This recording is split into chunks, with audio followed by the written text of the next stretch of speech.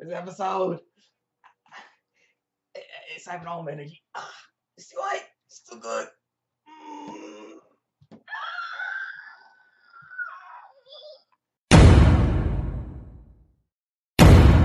Never underestimate the power of dunk. Woo, woo, woo, woo. This episode's freaking hype, man. This is what things about this episode. Ricky Kise, get my dude Kise. What? What? What? With text in the front? What? Because this crap's ridiculous. How?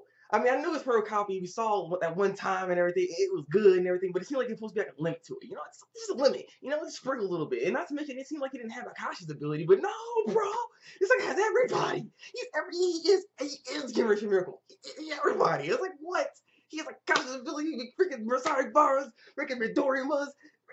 I mean, he what? All in the one. He he, he used all of them. It's like my oh, God, like what is this? This is cheap. I mean, now I see. I see.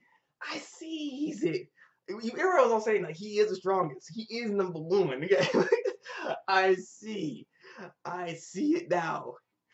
I was a fool to believe that that that, that he isn't the strongest. You know, I should I should have believed that he was the strongest. Like it, it was just, it's just ridiculous. My God, I don't even know what they can do against that. I I really don't know. I mean, even if Kagami goes into the zone, he can compete with it by using his defense and trying to stop him from going in. You have to stop all the abilities though at one time. How the heck? I don't I don't even know. I don't even know. And then like, just think, just imagine, just just imagine, my brother. Just imagine if he also had the zone. If he also had the zone. Oh, what? God, dang! Please, please. Uh, this, I just can't. I, I, I can't. Mess with it. I can't mess with it.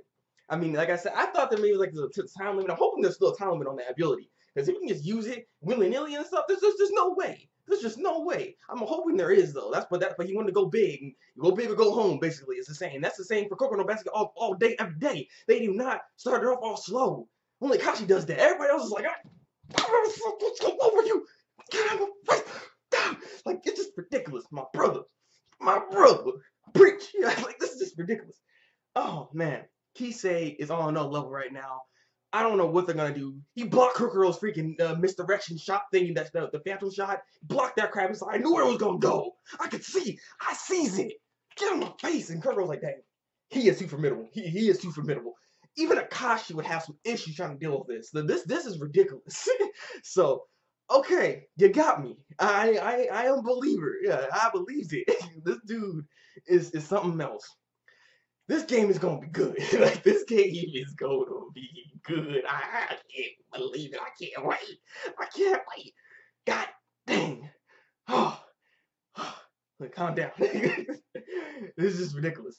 But uh, we also have Dorman in this episode. He actually was crying and everything. I didn't expect him to cry. Like he was walking off and everything like that after they lost the game and everything. And you actually see him cry a little bit. I was like, oh dang. Oh dang, man, that crushed you, huh? Man. Ah, come on, Midorima. Get you get back up. You're still the best. I still see you as the best, though. I mean, Kise right here, right now, it's not even fair. But you know, you're still good, bro. You're still good. Maybe another time. Maybe another time. Maybe one day you'll be able to defeat Akashi once he loses. Loses. He's gonna lose. He's gonna lose somebody. You'll see. You'll see real soon. but overall, this episode, this episode gets the stamp of greatness. The stamp of greatness, people. Because this right here, this is what Kuroko no Basket is all about, baby. This is what Kuroko no Basket is all about, baby.